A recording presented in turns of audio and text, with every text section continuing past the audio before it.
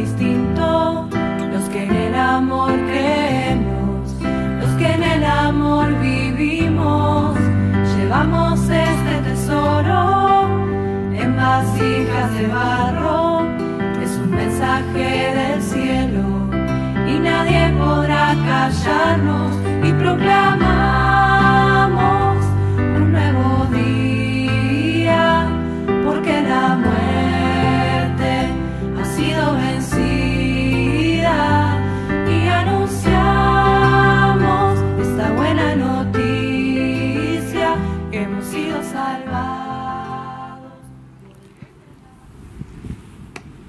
En el nombre del Padre, del Hijo y del Espíritu Santo. Amén. El Señor esté con ustedes. y con tu espíritu. En este primer día del año celebramos la solemnidad de Santa María, Madre de Dios, y con la alegría, el gozo del nacimiento de Jesús nos disponemos a celebrar esta Eucaristía, pidiendo al Señor que nos acompañe a lo largo de todo este año. Vamos a preparar el corazón y lo hacemos de la mejor manera, es decir, dando gracias por tanto bien recibido y reconociendo con humildad nuestro pecado, que es aquello que nos aleja de Él. Hijo de Dios, nacido de María, que te hiciste nuestro hermano, Señor, ten piedad. Señor, ten piedad. Hijo del hombre, que conoces y comprendes nuestra debilidad, Cristo, ten piedad. Cristo, ten piedad. Hijo primogénito del Padre, que haces de nosotros una sola familia, Señor, ten piedad. Señor, ten piedad. Y el Señor que es bueno tenga compasión de nosotros, perdona nuestros pecados y nos lleve a la vida eterna. Amén. Gloria a Dios en el cielo y en la tierra paz a los hombres que ama el Señor. Por tu inmensa gloria te alabamos, te bendecimos, te adoramos, te glorificamos. Te damos gracias, Señor Dios, Rey Celestial, Dios Padre Todopoderoso, Señor, Hijo único Jesucristo, Señor Dios, Cordero de Dios, Hijo del Padre. Tú que quitas el pecado del mundo, ten piedad de nosotros. Tú que quitas el pecado del mundo, atiende nuestras súplicas. Tú que estás sentado a la derecha del Padre, ten piedad de nosotros. Porque solo tú eres santo, solo tú, Señor, solo tú, Altísimo Jesucristo, con el Espíritu Santo, la gloria de Dios Padre. Amén. Oremos.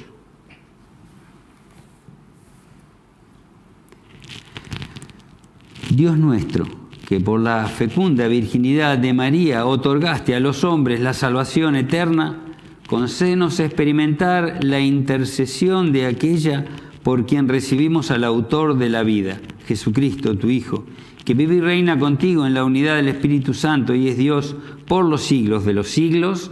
Amén.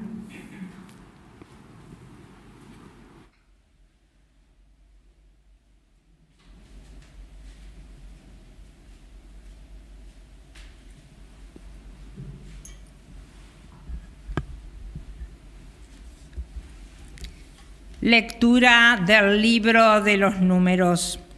El Señor dijo a Moisés, habla en estos términos a Aarón y a sus hijos. Así bendecirán a los israelitas. Ustedes le dirán, que el Señor te bendiga y te proteja, que el Señor haga brillar su rostro sobre ti y te muestre su gracia que el Señor te descubra su rostro y te conceda la paz. Que ellos invoquen mi nombre sobre los israelitas y yo los bendeciré. Palabra de Dios. Te alabamos, Señor. El Señor tenga piedad y nos bendiga. El Señor tenga piedad y nos bendiga. El Señor tenga piedad y nos bendiga. Haga brillar su rostro sobre nosotros para que en la tierra se reconozca su dominio y su victoria entre las naciones. El Señor, Señor tenga, tenga piedad, piedad y nos y nos bendiga. bendiga. Que todos los pueblos te den gracias, que canten de alegría las naciones, porque gobiernas a los pueblos con justicia y guías a las naciones de la tierra. El Señor, Señor, tenga ten piedad y nos bendiga. bendiga. Que los pueblos te den gracias, Señor. Que todos los pueblos te den gracias. Que Dios nos bendiga y lo teman todos los confines de la tierra.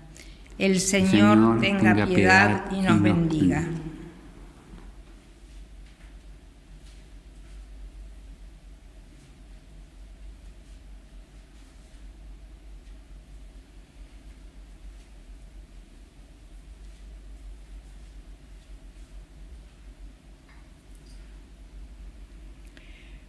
Lectura de la carta del apóstol San Pablo a los cristianos de Galacia. Hermanos, cuando se cumplió el tiempo establecido, Dios envió a su Hijo, nacido de una mujer y sujeto a la ley, para redimir a los que estaban sometidos a la ley y hacernos hijos adoptivos. Y la prueba de que ustedes son hijos es que Dios infundió en nuestros corazones el espíritu de su Hijo, que clama a Dios llamándolo Abba, es decir, Padre. Y así ya no eres más esclavo, sino hijo y por lo tanto heredero por la gracia de Dios. Palabra de Dios. Te alabamos, Señor.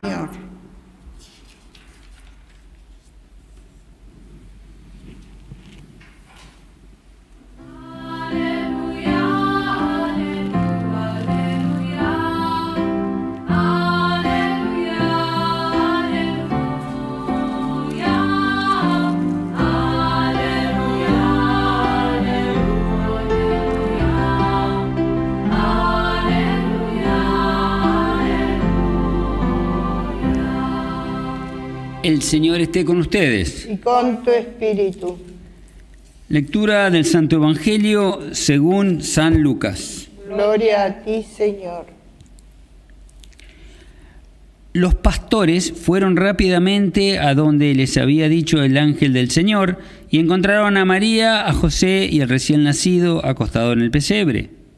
Al verlo, contaron lo que habían oído decir sobre este niño y todos los que los escuchaban quedaban admirados de lo que decían los pastores. Mientras tanto, María conservaba estas cosas y las meditaba en su corazón. Y los pastores volvieron alabando y glorificando a Dios por todo lo que habían visto y oído conforme al anuncio que habían recibido. Ocho días después llegó el tiempo de circuncidar al niño y se le puso el nombre de Jesús, nombre que le había sido dado por el ángel antes de su concepción. Palabra del Señor. Gloria a ti, Señor Jesús.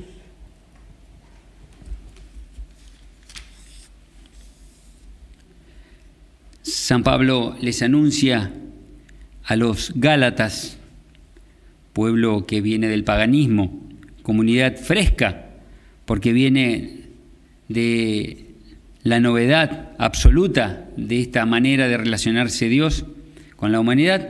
A ellos San Pablo los les dice cuando se cumplió el tiempo, cuando se cumplió el tiempo, envió hijo, envió a su hijo nacido de una mujer. Simplemente eso, ¿no?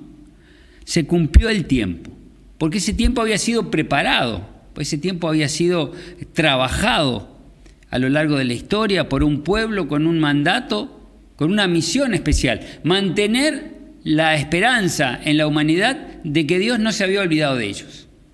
Y así a lo largo de la historia, eh, protagonizada por este pueblo, Dios fue preparando, como acomodando todas las piezas en ese escenario del mundo para que aparezca en, en el momento preciso, en el momento adecuado, su hijo hecho hombre. Claro, lo desconcertante fue que eligió algo que no estaba, no, no, no era previsible. Eligió un rincón de, geográfico sin poder, sin prestigio, y por eso mismo desconcertó a quienes eh, pretendían descubrir racionalmente eh, los proyectos de Dios. Pero ahí está. Y lo hizo naciendo de una niña, de una adolescente, que le mm, confió su vida aún sin entender lo que estaba pasando. Y se la confió a un hombre, José, que también sin darle mayores explicaciones, lo puso eh, como protagonista en una historia que realmente lo superaba, los desconcertaba, los desbordaba, pero que este hombre, confiando en lo que Dios a través de los sueños, ni siquiera directamente, a través de los sueños le iba diciendo. Bueno, este es el misterio de la Navidad. El misterio de la presencia de Dios en medio de nosotros, de una manera desconcertante, pero justamente abarcativa, totalmente abarcativa. Se hizo pobre entre los pobres, el más pobre que ni siquiera tuvo un techo propio para nacer. Como diciendo que su mensaje iba absolutamente a todos y que nadie se podía sentirse excluido. Y María, la Madre. Hoy celebramos esta solemnidad de Santa María, Madre de Dios, que es el dogma por excelencia. desde este privilegio de María surgen todos los otros. Por ser madre fue concebida sin pecado original. Por ser madre fue asunta al cielo. ¿no? Pero el gran, el gran eh, privilegio de María es este, el haber sido madre de Dios y haber permitido que Dios sea realmente hombre y realmente Dios. Pero también hoy, en el primer día del año, eh, celebramos la Jornada Mundial de Oración por la Paz. Una jornada que fue instituida hace 55 años por Pablo VI, que ha querido que el primer día del año esté consagrado a la reflexión y a la oración por la paz. Y el Papa Francisco este año nos ha dejado como lema, dice, el diálogo entre generaciones, la educación y el trabajo para construir la paz duradera. Fíjense, tres caminos. Diálogo entre generaciones, educación y trabajo. Tal vez las cosas más cuestionadas y más desarticuladas que estamos viviendo hoy. Hoy como nunca las generaciones viven mundos paralelos. Hoy como nunca los ancianos y los niños se mueven en coordinadas absolutamente distintas. Mundos distintos, paradigmas distintos y que cada vez están más alejados. El Papa nos dice, para construir una paz verdadera tenemos que volver a encontrarnos, tenemos que volver a respetarnos, tenemos que volver a, sentirnos familia. La educación, justamente, hoy donde la información está tan a la mano, es tan abundante, que corre el peligro de destruirnos. La información no terminamos de, procesarla y por eso la información termina por confundirnos, por, por instalarnos en un, relativismo donde justamente la información deja de ser sabiduría y muchas veces se convierte en chisme. Y por último, el trabajo. En un mundo cada vez más tecnificado, el trabajo cada vez pierde más su, sentido. No es solamente una mercancía, no es solamente eh, un instrumento para suplir necesidades. El trabajo dignifica y personaliza. Un hombre que no trabaja, aunque tenga dinero, se deshumaniza. El trabajo es lo único que permite al hombre participar en la creación, en la obra creativa de Dios en el mundo. Bueno, entonces, la paz, don y tarea. La paz, un regalo que Dios nos hace, pero que también nos eh, obliga, nos desafía a ser protagonistas en la construcción de una paz que sea sólida y duradera. Ojalá que este año que comenzamos hoy sea un año signado por el diálogo, signado por la sabiduría y signado por el trabajo digno. Que así sea.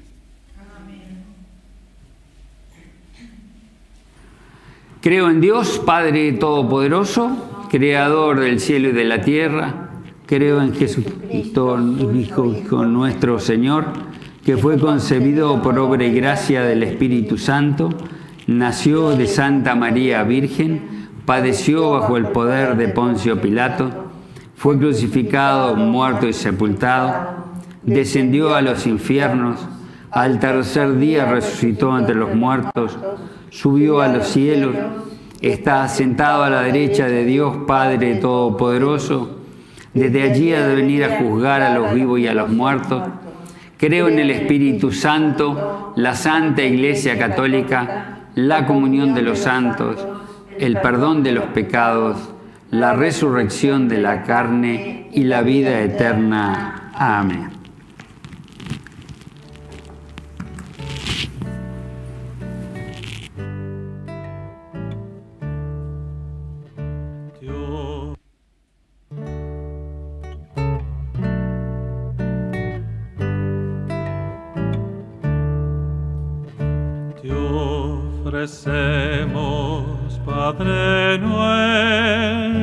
Nuestro, este vino y este pan,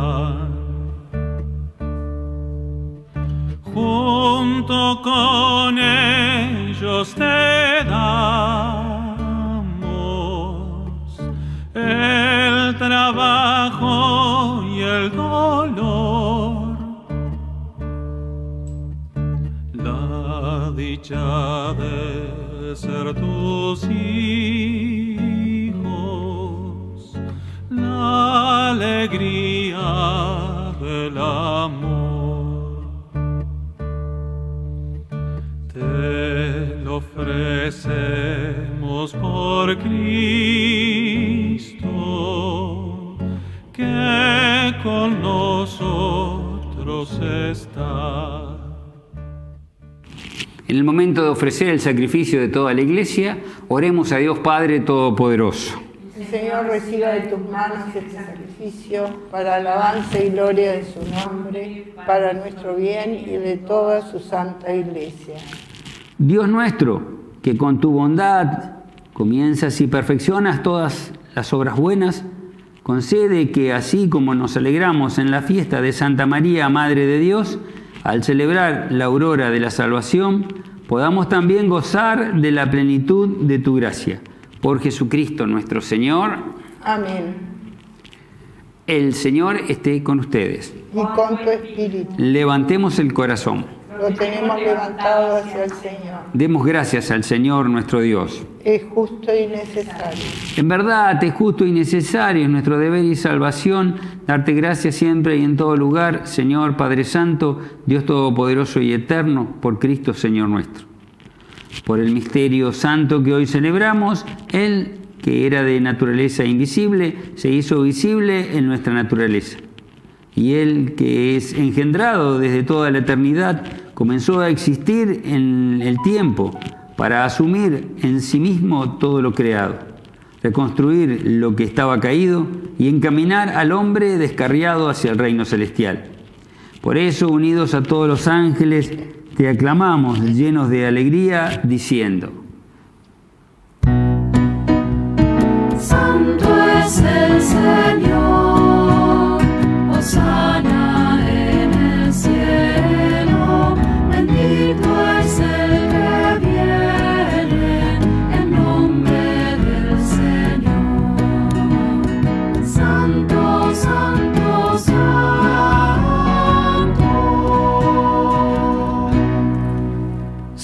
eres en verdad, Señor, fuente de toda santidad.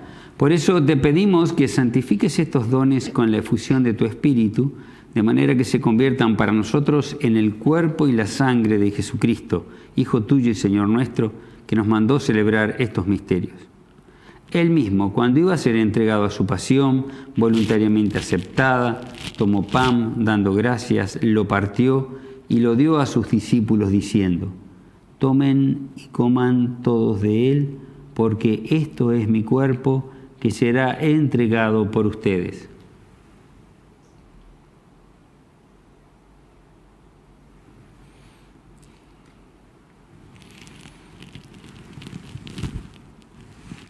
Del mismo modo, acabada la cena, tomó el cáliz y dándote gracias de nuevo, lo pasó a sus discípulos diciendo, tomen y beban todos de él, porque este es el cáliz de mi sangre, sangre de la alianza nueva y eterna que será derramada por ustedes y por muchos para el perdón de los pecados. Hagan esto en conmemoración mía.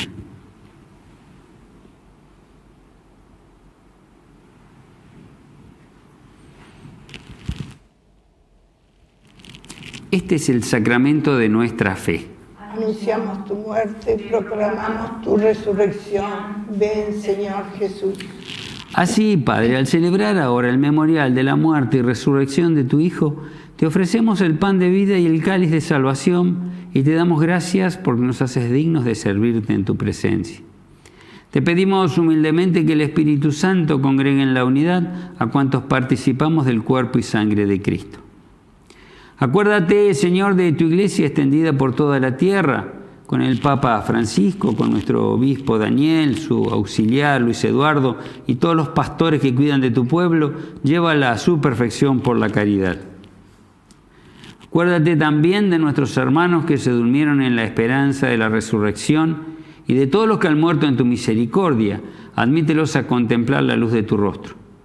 Ten misericordia de todos nosotros y así con María la Virgen, Madre de Dios, San José, su esposo, los apóstoles y cuantos vivieron en tu amistad a través de los tiempos, merezcamos por tu Hijo Jesucristo compartir la vida eterna y cantar tus alabanzas por Cristo, con Él y en Él. A ti, Dios Padre Omnipotente, en la unidad del Espíritu Santo, todo honor y toda gloria por los siglos de los siglos. Amén. Y le vemos al Padre nuestra alabanza con la misma oración que nos enseñó Jesús. Padre nuestro que estás en el cielo, santificado sea tu nombre, venga a nosotros tu reino, hágase tu voluntad en la tierra como en el cielo. Danos hoy nuestro pan de cada día, perdona nuestras ofensas, como también nosotros perdonamos a los que nos ofenden. No nos dejes caer en la tentación y líbranos del mal.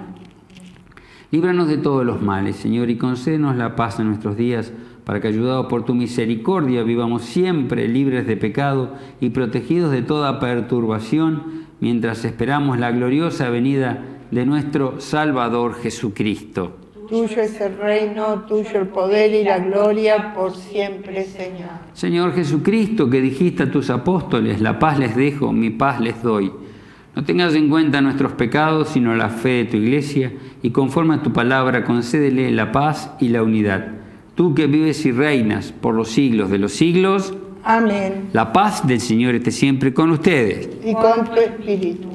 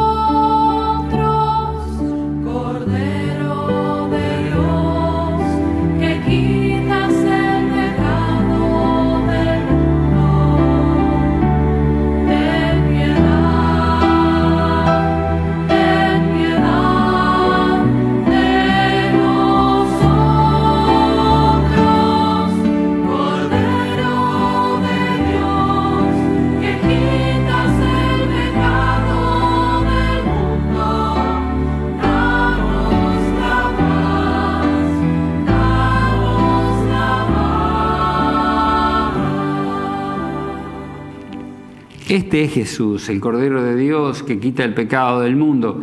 Dichosos los invitados a la cena del Señor. Señor, yo no soy digno de que entres en mi casa, pero una palabra tuya bastará para sanarme.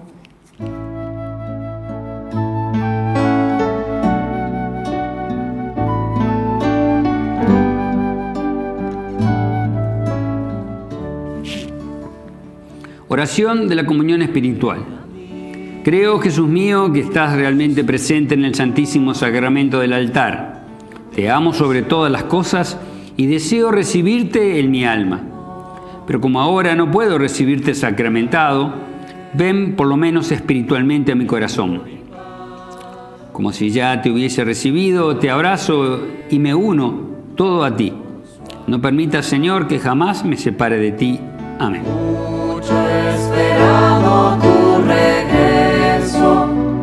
Yo te prometo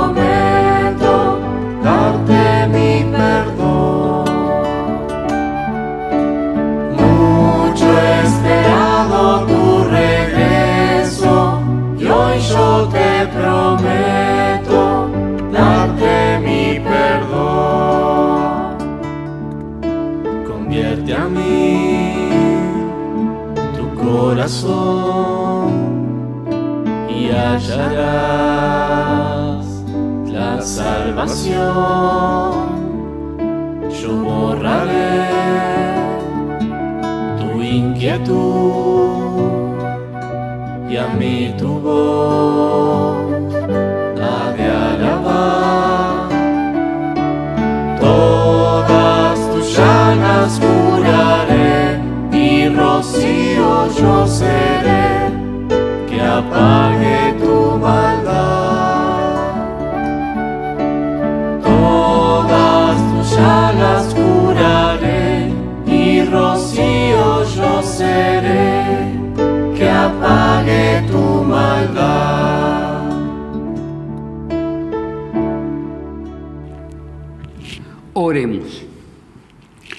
Señor y Dios nuestro, hemos recibido con alegría los sacramentos celestiales.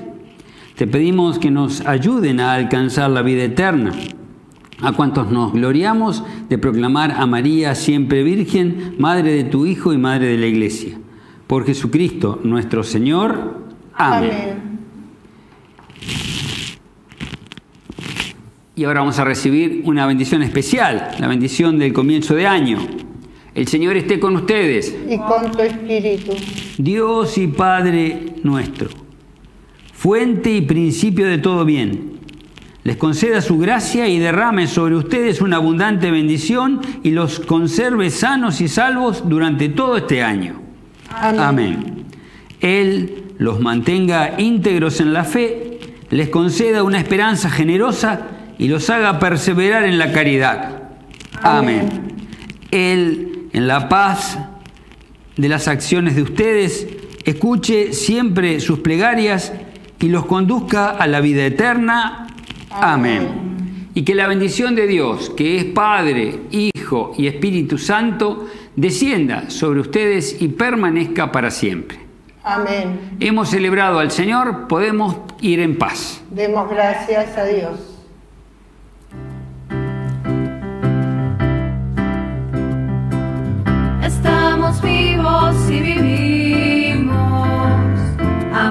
Vivos y